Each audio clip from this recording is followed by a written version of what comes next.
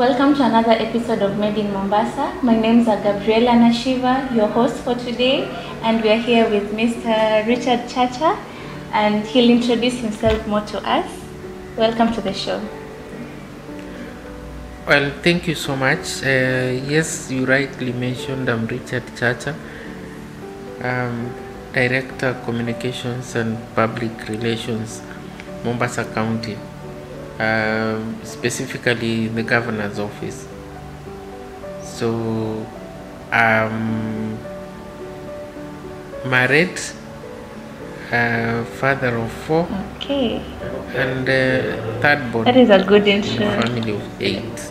good introduction for our I hope that is. Uh, So, Mr. Chacha, what do you do for yeah. our great county of Mombasa? Well, my main job here Yes.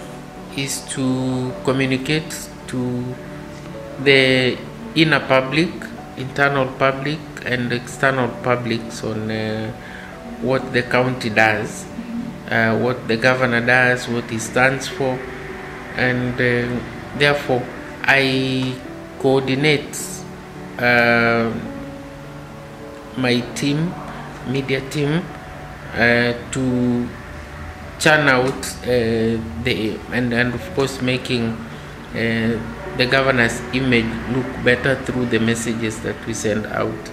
So basically, I am in touch with external media. Yes. We also do social media, and uh, within the county, we also communicate to staff Okay. uh, from the governor's office and from where he sits.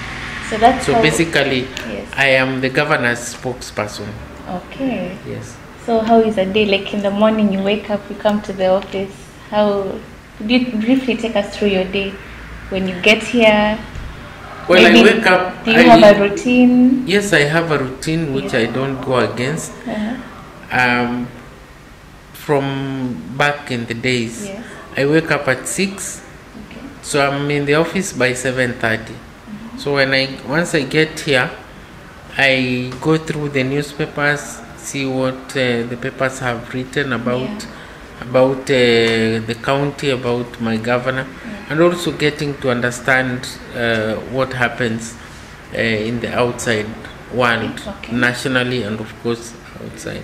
Okay. So after that, I would take my coffee Yes. and um, then if there is a meeting to update my team and plan for the day we normally have a short meeting. Okay. so to plan who goes where and uh, what time. Yeah. so that is done of course after consultation with the governor's personal assistant to know his diary. Mostly we know a day before what the governor is uh, going to do Okay. or where he's going uh, on this particular day. So we plan our events. Okay. But you also realize it's not all about the governor, it's about what other departments do because there is a very thin line separating the governor's uh, work and the departments because everything the departments do are done on and for the governor, on behalf and for the governor Okay. yeah so that's what i do so from there uh, perhaps i will have a snack maybe around 11 a bottle of water at 1 o'clock i don't do lunch i do lunch in the house Okay. unless now i have a lunch date Yeah. um, business lunch um, I, I don't normally do lunch in town Mhm. so i normally leave the office by 3 Oh. as uh, yes by 3 without delay unless there's something very pressing. Yeah. but i leave the office by 3 um, because you know it's not easy sitting on this uh, from morning to on that time. So i then from there i attend my physiotherapy. At times i do massage therapy. Yes so then uh, after that uh, that's The it day is the day is over uh, at work now Work, now yeah. Okay, now let's take it a bit back to when you started your career how come you decided on journalism and not maybe something different? I think this was uh, inborn. Some people, when people say it's inborn, Yeah. at times uh, there are those who do not understand uh, or they don't qualify that. I started. I had a lot of interest in uh, in uh, what is happening in the country, current affairs from the days I was a young person. Yeah. So I would steal my father's uh, radio and, um, you know, listen to news. My dad would listen to news maybe seven in the morning and then he leaves. So I'll want to follow up and listen to news from nine, one o'clock and throughout the day. So those days, um, I would um, even have, I would keep uh, the tab on who is the DC, who is the PC, where, and I had a list. And I was listening that from radio. So you passed your history well eh? because you were Yeah, well on current affairs. Yes, but back in the days, so I used to have a list. I knew which ministers are where. When there is a reshuffle, I would have my pen. Mm-hmm. I would um, update. And then when I went to high school, mm-hmm. I started something that people thought was a joke. Okay. I would, uh, yeah, I would uh, prepare news and read during the wow. assembly on Tuesdays and uh, and and Thursdays.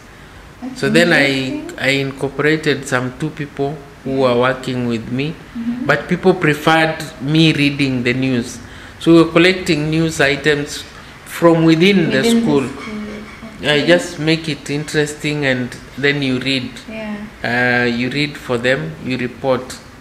Okay. So at times, you know, you would read something and the administration was not happy.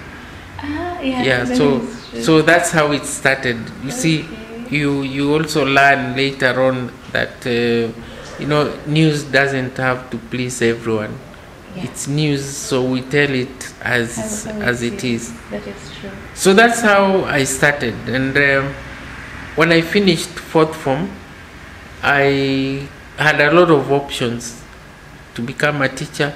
My father didn't know my my my intentions and where my interest was. So there was uh, an offer on the table to go and become a cadet officer, Kenya Air Force. There was uh, nursing on the table there was teaching. And now it happened that that year when I finished KIMC, which was the only college then offering journalism, serious journalism courses, yeah. was not um, taking people that year. There was no intake. So I had to wait. And my dad thought I'm wasting time at home. But then I told him I'll wait and apply the following year because they were taking people the following year. Okay. And then he thought I was uh, I was not okay in my head. So I told him this year I'll assist you, do your business, um, running your errands at home. Next year I will apply. And I was so confident. So when when uh, that time came, I applied, and lucky enough, I was um offered a place at Place. KMC Okay, that is very like the passion was there from the start. from the beginning, and I knew from right from then what I wanted to do. Okay, so maybe you how how was it then like journalism and communication generally from back then to how it is now and a little bit of the future. Do you see a future in it or do you think computers will take over and give us news? Um, there is no way computers will take over. It depends on how you tell your story. It depends on how you communicate what you say, how you say it, and when you say it. So, normally, uh, people still don't trust social media, for instance, that you get information from social media and you take it as gospel truth. That is not the case. That's why even if you go to the US, where computers and, um, and and technology was introduced many years ago, you still have newspapers and people read newspapers. People still watch news religiously. So the only thing that I think will change is uh, the fact that, for instance, if it's news, it has to be real time. So you'll find um, 24 hour channels being more popular, just like radio is, uh, more live uh, coverage of uh, functions and, uh, and events, uh, because people want to know. Yeah and, and yeah and, and and kept people want to be kept updated throughout. That leads me to my next question. Um, the young um, professionals coming from university, do you think they have space in the in the media? Because most of the time, people who have been there are more preferred. People are used to them. They are, you know, the, times when you switch on your TV, you know, 9 p.m. news is so and so, and you're looking forward to that. So, do young people? Is it will they be easily absorbed into the into the market? Yes the only problem is uh, when young people come out of the university or when they set out to do a course on journalism they want to be news anchors. They just want to appear on tv or to be heard on radio. I mean, when I was in college, that was the last thing you would think of. I mean, it's an added. It, when you're you're reading news or anchoring, it's an added value. You first of all need to be a journalist. That's the most important thing. Then, when you want to anchor, then that is just an added uh, value on it. So you're able, yeah. So so there are people who go there just to they want to appear on TV, and that uh, that is um, that will destroy them. You need to have passion. You need to have interest in journalism, uh, in media for you to succeed. If you have no interest, you are there because you want to be uh, so and so, uh, then perhaps you will get it wrong. But the, uh, the the job opportunities, the market is wide open. There are so many chances. There are so many opportunities that are available. We have hundreds of uh, radio stations, TV stations are so many now, and they are offering job opportunities. So it depends on what you're able to do, how you're able to do it, and how best you can you can you can do it. So uh, the people, young people should uh, yes continue pursuing uh, journalism courses because jobs are there. Just uh, make sure you can do it and uh, get to do it. Okay. Um, another thing that we can notice with our media in Kenya, the I don't know if we can say that the girl child does not have okay maybe it's a threatened they're threatened in the industry because you see there are so many scandals of different female um, journalists who've been in different trouble in different I don't want to mention names or anything but they have been in trouble because of one thing or another. Maybe their social life or what ends up you know being exposed on TV and mostly it's the females. So is it that maybe they should not really be on the limelight or what's what's your take on that? No, not really. Uh, there are so many ladies who have succeeded in this industry, yes. And there are so many role models uh, in the industry. yeah. Um, there are those who go there because they want to be so and so, and then there are people who believe in shortcuts, and um, they are not able to separate their social life and um, and and you see and the profession. It is simple. When you go to the media, go and do what you want to do. If you have an opportunity to uh, to be on screen, please uh, stick to your profession. There's so many people, of course, who will be seeing you on screen. They will admire you.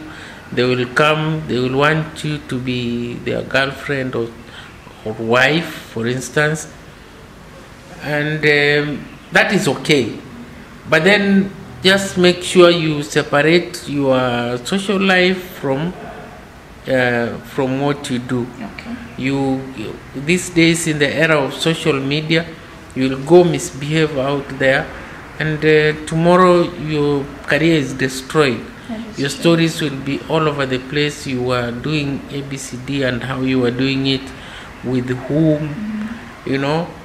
For instance, you are married, and uh, then you are seen with uh, someone, some some different person. But then the biggest problem is the temptation, money temptation to to some of these girls in the media. They want to be, they are lured easily by money because they want to drive a big car, they want to have a big house. And so when the rich people offer them, you know, um, they approach them with big money, with big offers, then they are easily, uh, they are easily swayed. And so you stick to a profession and you will succeed. Otherwise, Yeah. uh, you will destroy your life I understand. and and uh, some of these people I can tell you for free will not even want to be associated with you the moment you leave the screen. Okay. We're taking a short break. We'll be right back.